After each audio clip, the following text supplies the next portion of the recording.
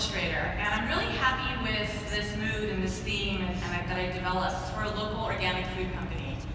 And what I really want to do is be able to visualize this brand on actual products without needing to have any of this in real life.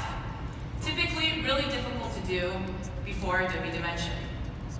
Here in Dimension, I have the ability to visualize my idea, my brand, on these products without actually having to have any of it in real life and it having it all look realistic.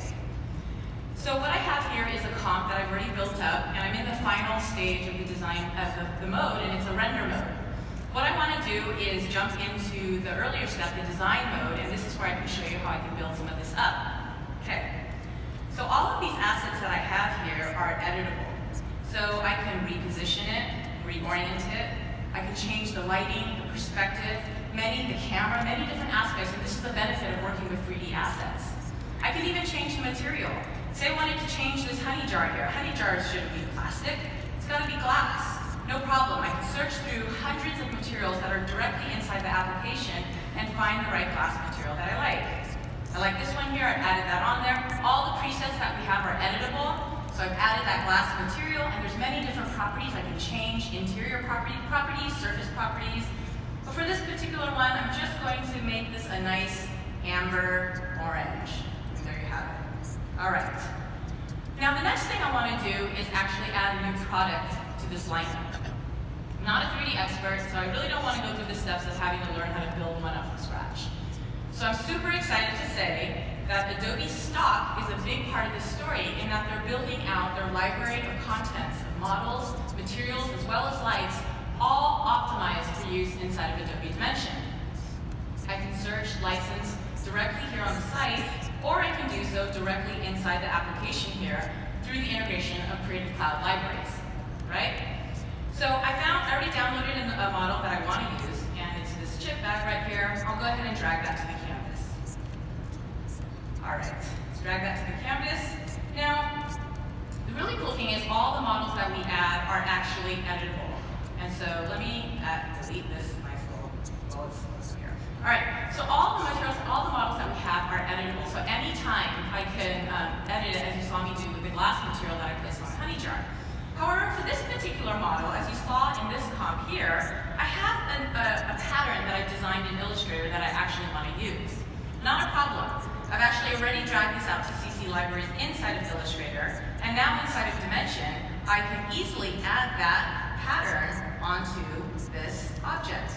Go ahead and open up the color picker and find this right over here, and there you have it. And the really cool thing is that now this pattern that I've just added is um, wrapping around the entire geometry of this product. So I can reposition or orient, change it at any time, and, and, and, it absorbs all the lighting and the have this particular scene. All right, the next thing I want to do is I want to add a logo. I want to add a logo, and this logo I've already created in Illustrator that you saw. And what I'm going to do is just drag this out, this logo that I've dropped to CC Libraries, and drop it directly on the model, and there you have it. Not only is it just placing where I need it to be, I can reposition it, and you can see it wrapping around the geometry nicely. I can also scale, resize. Go ahead, come on, let's hear it. This, this, this is cumbersome, right? For those of you who have done this, who tried to make these things look realistic, having to like skew and transform things. I've done this a lot. Trying to get that to look right and realistic is quite challenging, and this definitely saves a ton of steps. So let's get that just to the position that I need. There you have it. All right, lighting. Dimension makes lighting easy. Essentially, we have hundreds of presets as well, uh, uh, and uh, the presets are also set up as outdoor lighting, indoor lighting, a bunch of studio setups, really easy to use. So I can scroll through here, say I have this with studio scenario, I can drop that directly on the canvas, and you can see how it's absorbing the browns of that room as well as the different light setup that I have created. For this particular comp, I actually just want to use a very simple two-front panel softbox studio environment. I drop that on there, and there you have it.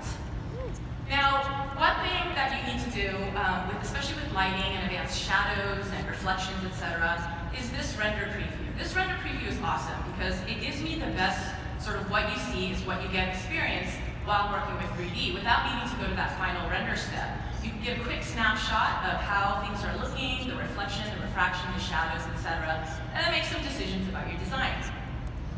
And actually at this point what I want to do is I want to change the look completely. What I want to do is be able to add a photographic background to this. And again, it is the ability to be able to visualize this design, this idea that I have, in context, in reality, without having to have anything in reality yet. Now the really cool thing that we do when we bring in a photographic photograph as a background is we're leveraging Adobe Sensei's machine learning algorithms and automatically detecting the environment light, the sunlight if it's there, as well as the camera perspective. All I need to click is OK here. And not only are we going to automatically find that camera perspective, place those objects on the ground, but we're also using the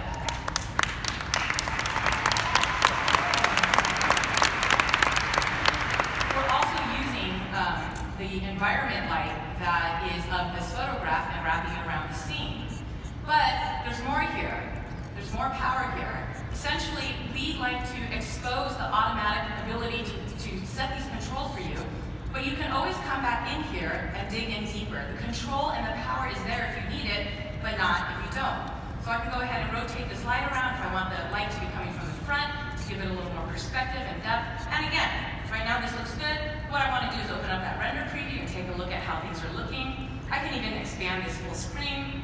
This will just do a couple passes, and right away I can see things don't look right. I need to actually uh, turn off this uh, reflection, right? This is not a reflective thing, so let's go ahead and just drop that down. And again, wait for that render pass, it just does a couple passes, and it allows me to get that, that visualization of what this is gonna look like before needing to go into that render step. All right, so now this is great, I love it, explored with a different idea. What I wanna do is actually go back to my first idea.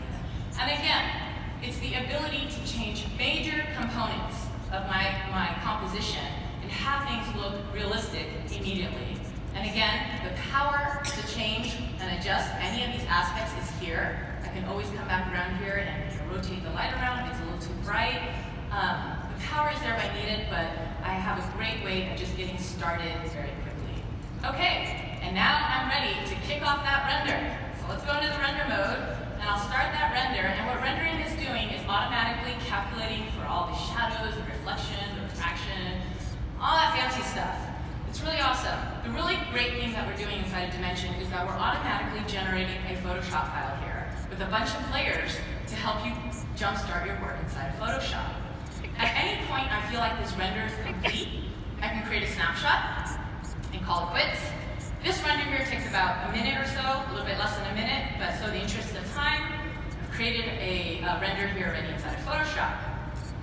Now here in Photoshop, I can treat this just like a photograph, but it's better, because as I mentioned, it comes with a bunch of layers with masks that are separated out all the different components so I can get to work quickly.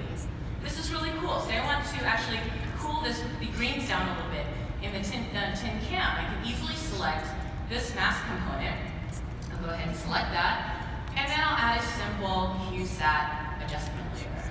Go ahead and bring up the blues a little bit, drop down the greens, and there you have it. I'm done.